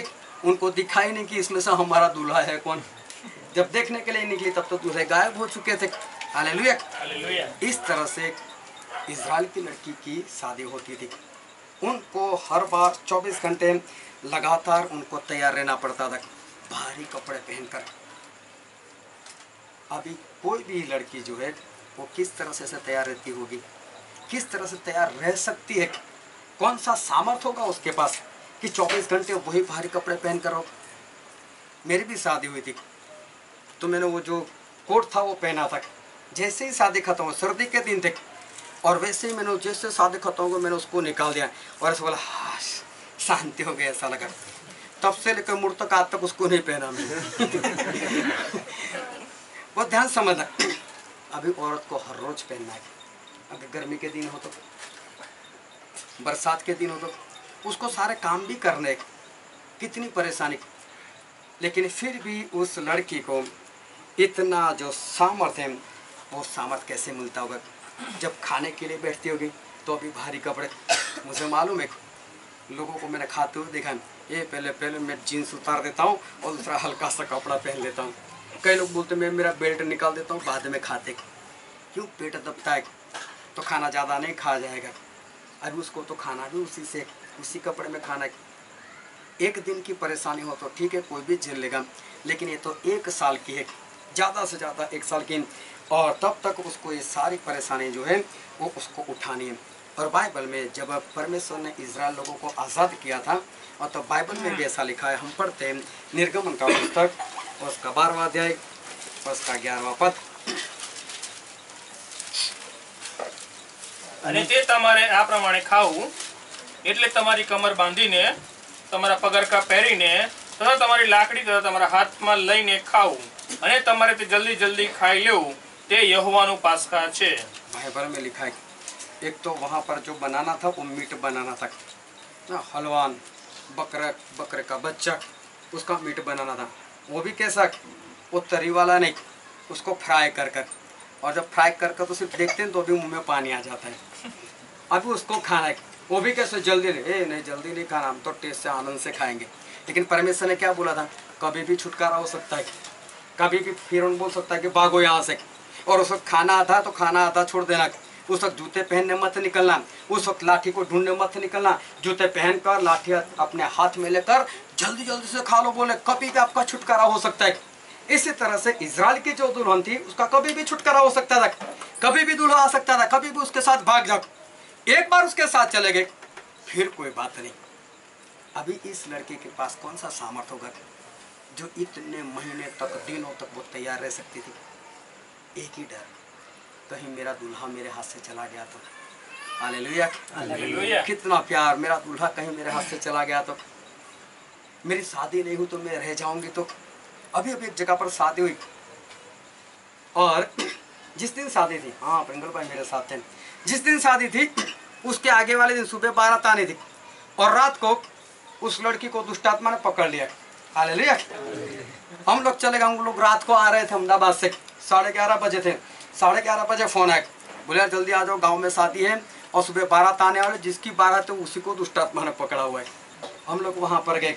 चलो, परमेश्वर ने बहुत बढ़िया काम किया और परमेश्वर ने उसको छुटकारा दिया।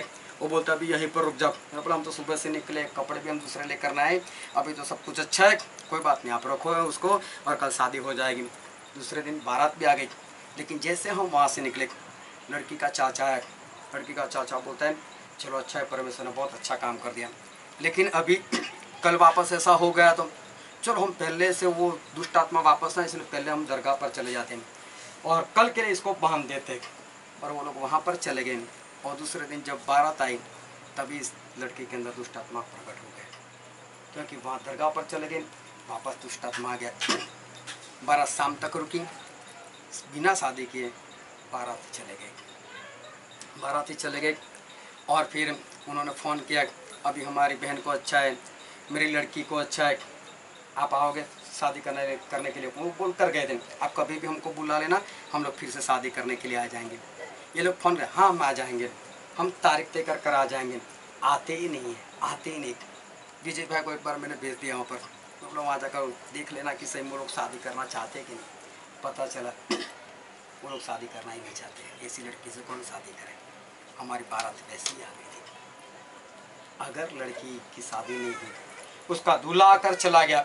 लड़की अगर उस वक्त तैयार नहीं थी, उसके सर के ऊपर तो कालिक लग जाएगी। कि ये अपने दूल्हे के लिए तैयार नहीं थी। हालेलुया।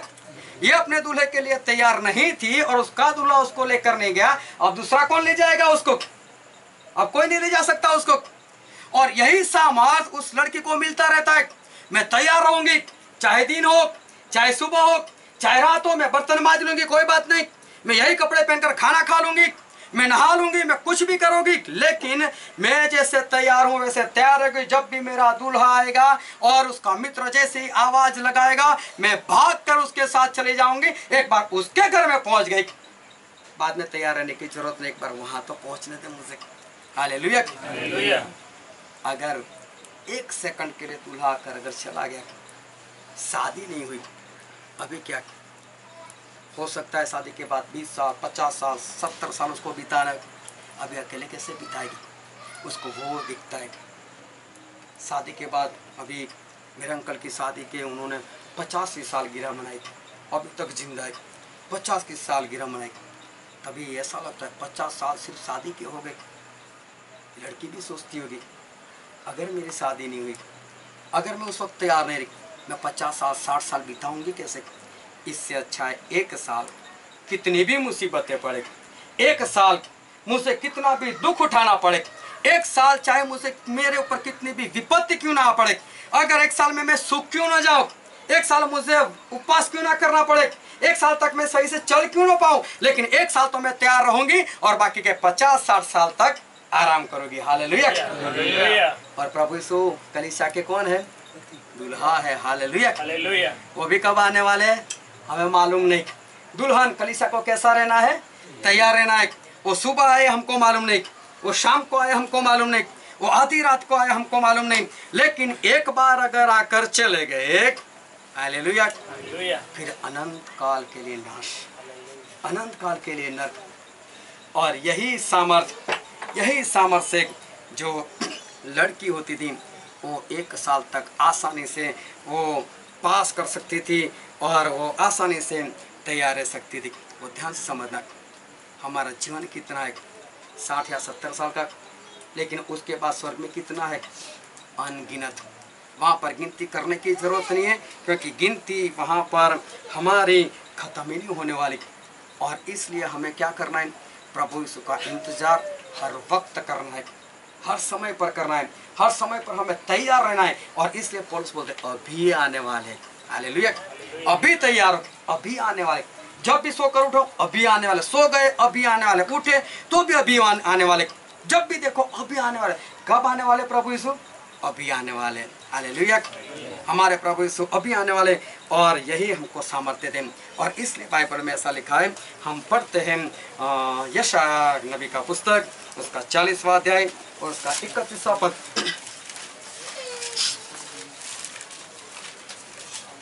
પણ યહોવાની વાટ જોનાર નવું સામર્થ્ય પામશે તેઓ ગરુડની પેટે પાંખો પ્રસારશે તેઓ દોડશે ને થાકશે નહીં તેઓ આગળ ચાલશે ને નિર્ગત થશે નહીં हालेलुया हालेलुया। यहाँ पर बहुत स्पष्ट लिखा है यहोवा की बाट जोने वाला वो कभी भी थकेगा नहीं हालेलुया हालेलुया। सही में बाट जोता है मेरे प्रभु यीशु आने वाले बाट जोना मतलब क्या घर में रिश्तेदार आने वाले हालेलुया रिश्तेदार आने वाले पूरा पता है पक्का मालूम बोला है। मैं दो दिन के बाद मैं आने वाला हूँ। छः तारीख को मैं आने वाला हूँ। और छः तारीख को सुबह से निकला कब आने वाले कब आएँगे? कब आएँगे? दरवाज़ा खोल कर खुला कर कर बैठे लेकिन जो इंतज़ार नहीं करते वो क्या करेंगे? इंतज़ार नहीं करते इसका मतलब ये नहीं कि वो ये सोचेंगे कि आते ही नहीं। इसका मतलब ऐसा नहीं लेकिन वो क्या बोलेंगे? ए बाहर से ताला लगा तो देखकर चला जाएगा। हालेलुया। जो इंतजार नहीं करता हालेलुया लेकिन जो इंतजार करता है आ जाओ कब आते हो परमेश्वर आ जाओ वो देखते रहते हैं उनकी बाट जोते रहते हैं और वो जो बाट जोने वाला कैसा रहता है हर घड़ी तैयार रहता है वो हर वक्त वो हमेशा के लिए वो तैयार रहता है और जो तैयार रहता है उसको क्या मिलेगा नया सामर्थ हालेलुया फिर से पढ़ो चालीस का इकतीस પણ યહોવાની વાટ જોનાર નવું સામર્થ્ય પામશે हाँ यहाँ पर ऐसा लिखा है नया सामर्थ्य। और जो परमेश्वर की बात होते हैं, वो क्या करेंगे? हर वक्त परमेश्वर के लिए भागते रहेंगे। परमेश्वर की इच्छा को पूरी करते रहेंगे। चाहे एक साल, दो साल, दस साल, बीस साल, वो कभी भी नहीं थकेंगे क्यों? मेरा परमेश्वर भी आ जाएँगे। अगर आगे उस वक्त में तैयार नहीं रहूँगा तो अगर उस वक्त में सो गया होऊँगा तो मैं नरक में चले जाऊँगा और वहाँ से मैं कभी भी बाहर नहीं निकल सकता। और यही बात उसको बार बार हर वक्त उसको एक नया एक नया सामर्थ्य देते रहते हैं मुझे नर्क में नहीं जाना मुझे स्वर्ग में जाना है और उसको एक सामर्थ्य मिलता रहता है। और बाइबल में लिखा है उकाब की नाई वो क्या करेगा? अपनी पंखों को पसारेगा हालेलुया। उकाब की नाई मतलब उकाब क्या करता है? पंखे क्यों पसारता है? ऊपर उड़ने के लिए। ऊपर जाने के लिए।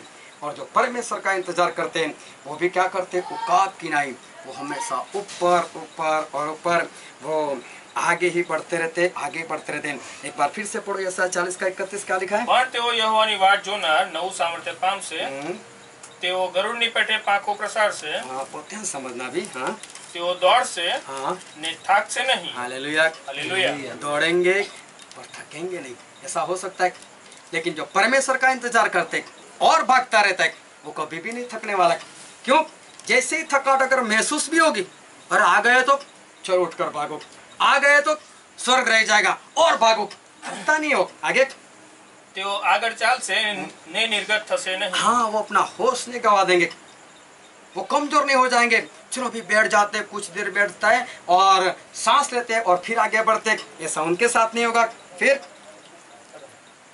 बस हालेलुया हालेलुया। बाइबल में लिखा है जो परमेश्वर का इंतजार करते हैं वो इसी तरह से बिना थके, बिना रुके, बिना कमज़ोर होते हुए वो हमेशा आगे ही आगे बढ़ते रहेंगे।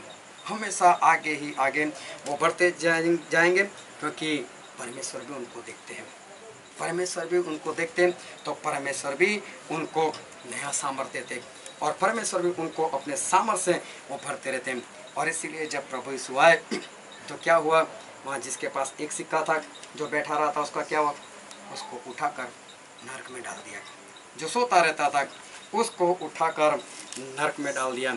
और इसलिए परमेश्वर की निगाह है कि आसमान से इस धरती के ऊपर, सभी के ऊपर आज भी जो हमने वचन पढ़ा था, और वचन के अंदर जो हमने पढ़ा, लुका उसका बारहवा अध्याय, और इकतालीस से लेकर अड़तालीस, उससे पहले प्रभु ने एक बात की थी, और वो बात की थी चोर की।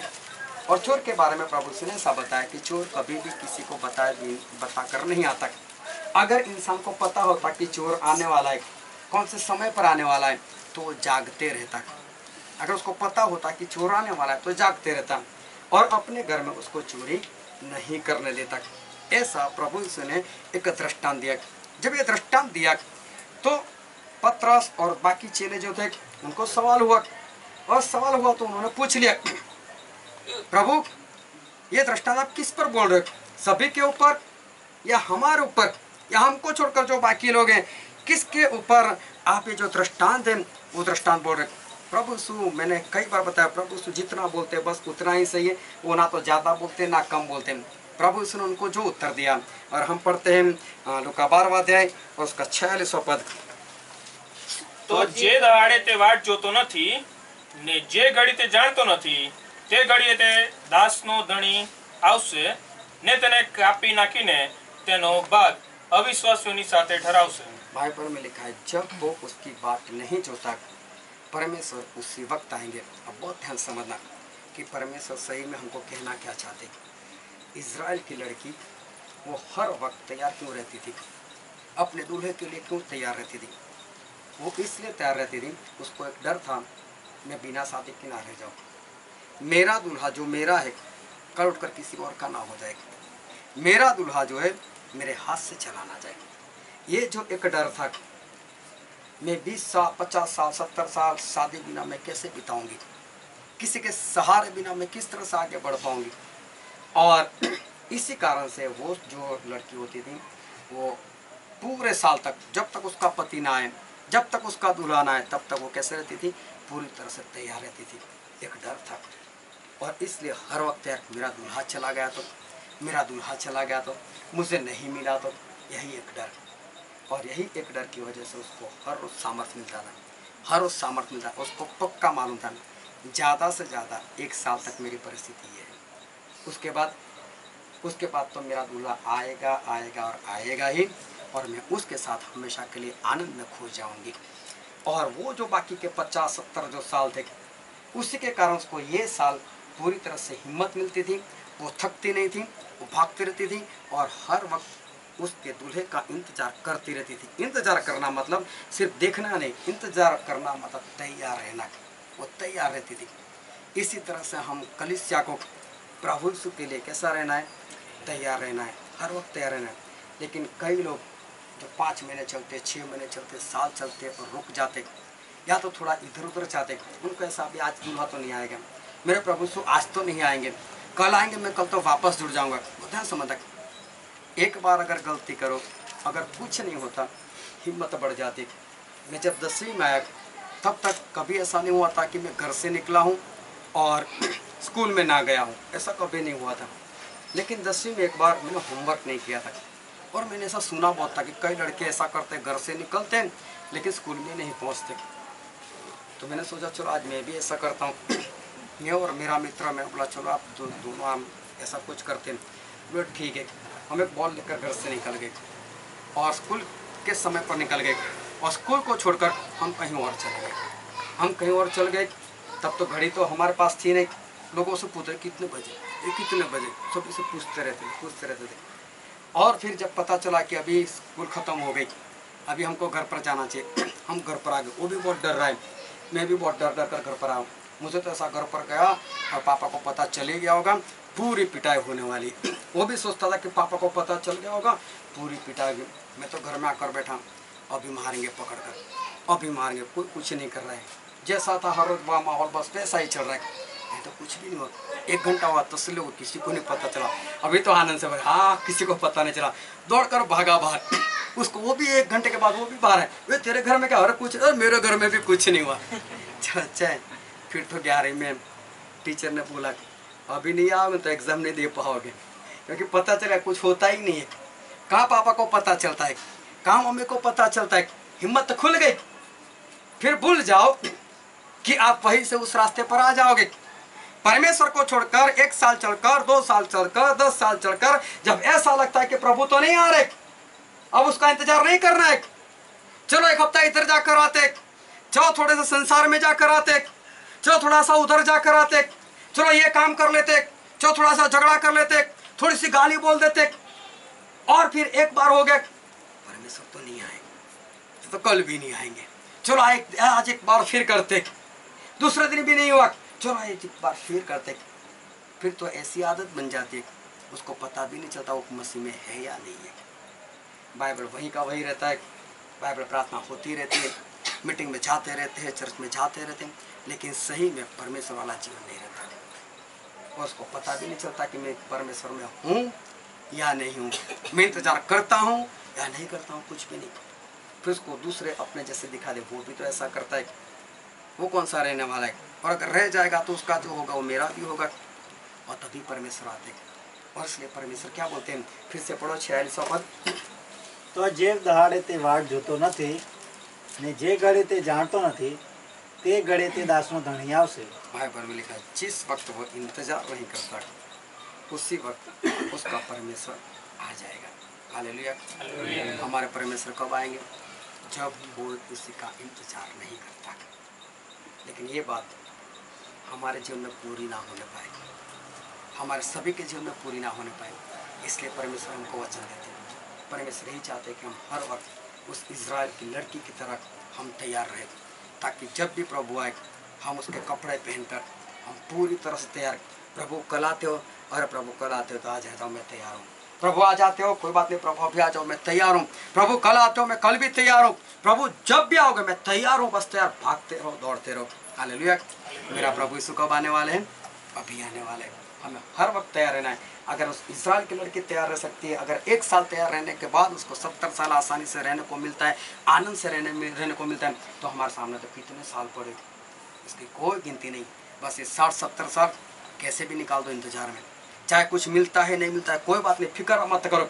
चाहे कितनी भी मुश्किल आती है, विपत्ति आती है, कोई बात नहीं। घर है, नहीं है, पैसा है, नहीं है, सोना है, नहीं है, कुछ भी नहीं, कोई फ़िक्र मत करो। लेकिन परमेश्वर के पीछे, ईमानदार से, सच्चाई से और आत्मा से चलते रहो। उनका इंतज़ार करते रहो क्योंकि मेरा प्रभु यीशु कब आएँगे, हमको बोल करने के लेकिन जिस वक्त आए, उस वक्त हमें भागना ना पड़े। उस वक्त हमें शौक ना हो, लेकिन उस वक्त हम परमेश्वर के पास चले जाएँ और हमेशा के लिए आनंद करें। आज जो भी दुख उठाना पड़े, उठा लो, लेकिन आने वाले कल को सुधार लो। अब हम हमारे आँखों को बंद करते हैं और हमारे मस्तक को प्रभु यीशु के आगे झुकाते हैं। जो राजाओं के राजा हैं जो इस ईश्वर के परमेश्वर है जो कभी न बदलने वाले परमेश्वर है हालेलुया जीसस थैंक यू मेरे प्रियो हमारे परमेश्वर बहुत वाले वो हमारे दुल्हा है हम उसकी कलिसिया हम उसकी दुल्हन है अपने दुल्हन को लेने के लिए प्रभु से बहुत आ रहे अगर आज दुख उठा लोगे तो मेरे प्रियो, आने वाले हज़ारों लाखों अरबों साल आप सुधार लोगे लेकिन अगर आज आनंद करने गए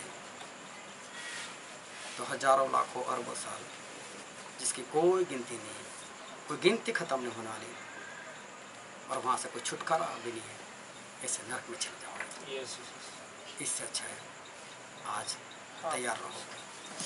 हर वक्त तैयार रहो। जब तक प्रभु यीशु नहीं आते जब तक हमारे मौत नहीं आती तब तक हमेशा के लिए तैयार रहो। ये वचन समझने के लिए ग्रहण करने के लिए उसके अनुसार चलने के लिए। प्रभु यीशु की कृपा हम सभी पर बन पाए। Thank you